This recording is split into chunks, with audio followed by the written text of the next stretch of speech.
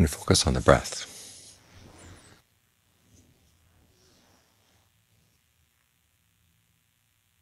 you're focusing on the body in and of itself. That's your frame of reference. And you want to hold to that frame of reference. Take that as the world you're inhabiting right now.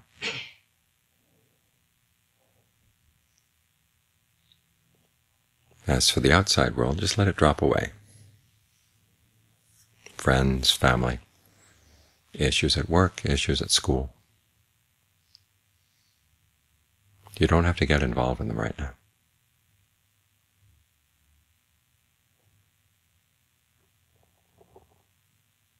You tune into this world right here. We live in many worlds.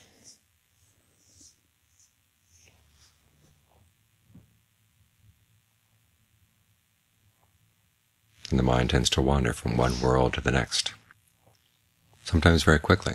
You could sit here in five minutes and go through lots of different worlds. The world of the past, the world of the future, or excuse me, worlds of the past, worlds of the future.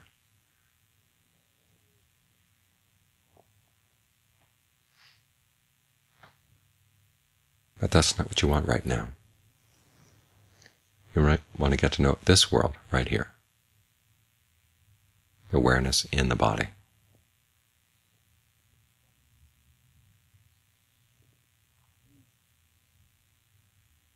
That's why the Buddha talks about giving your mindfulness a place to get established. This is your frame of reference right here. Mindfulness means the ability to keep something in mind. Right now you're going to remember the breath. Keep the breath in mind, keep the body right here in mind. In other words, keep reminding yourself that this is the world you're going to stay focused on. And as for other issues and the outside worlds, you just let them go. A thought may come up about something stupid you did in the past. Just let it go. You don't have to get involved in it. If something you want to get out of the world in the future, let it go. This is called putting aside greed and distress with reference to the world.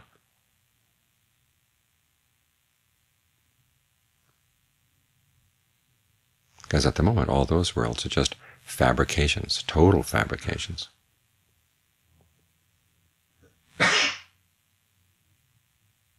If you think about your friends, your friends aren't here right now.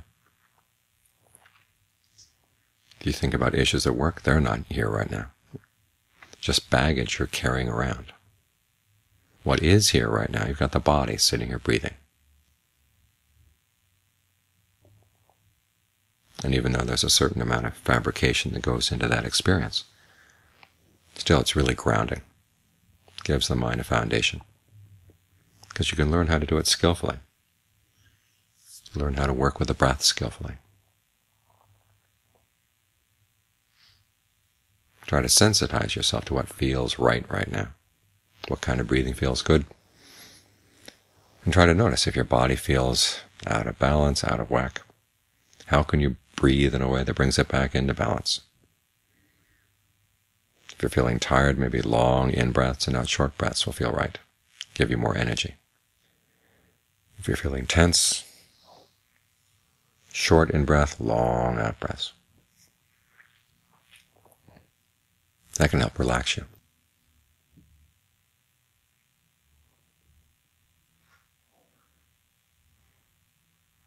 Because what you notice is as your awareness stays grounded in the body, the body helps your awareness, your awareness helps the body. In other words, you can adjust the breath so it feels more comfortable to be here right now. And after all, you notice that the mind, if it has a chance to settle down and be still, has a sense of well-being.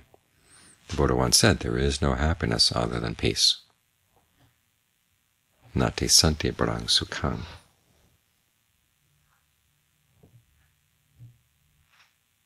You might argue you can think of all kinds of happiness that are not very peaceful at all, but are they really happiness?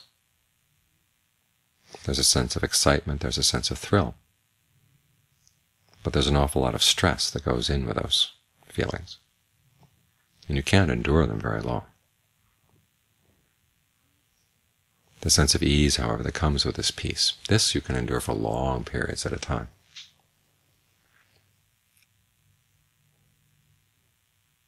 The mind gets grounded, has a sense of solidity, stability. Doesn't have to jump around the way it used to.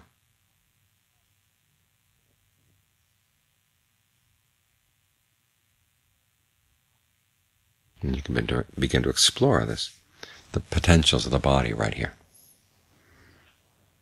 The Buddha talks about different properties that you can look at. You can look at the breath property, which you're looking at right now. When the breath property gets comfortable, you can think about the fire property, the warmth in the body, the liquid property, the cool sensations in the body, the solid property, earth property, the heavier solid parts of the body.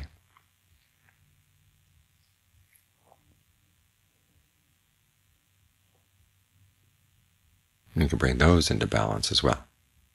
Sometimes when you're feeling really lightheaded, you want to think solid, heavy.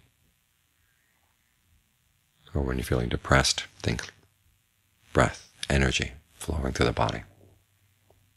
And it's interesting just bringing those perceptions to mind and holding on to them.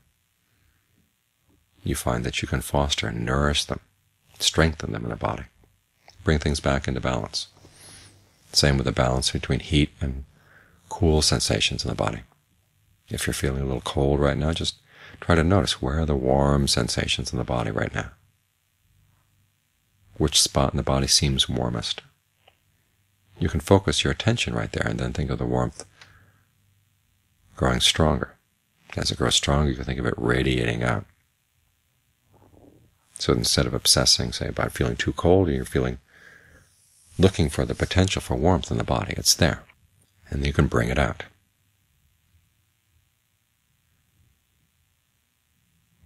This way, by keeping the mind with the body, both you get both sides helping each other. Because the mind does need a place to rest.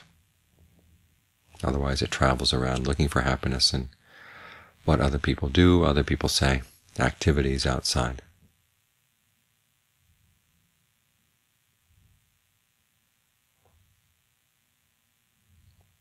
And that's placing your happiness on really shaky foundations. You want to bring your awareness inside. Look for happiness here. This is a lot more solid, a lot more dependable.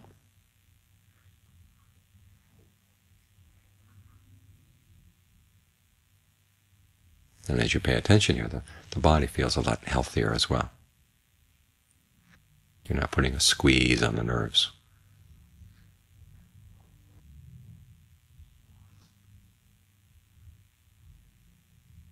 So even though there are lots of different things you could focus on right now, choose to focus on the breath and just hang on to that perception and see where it'll take you.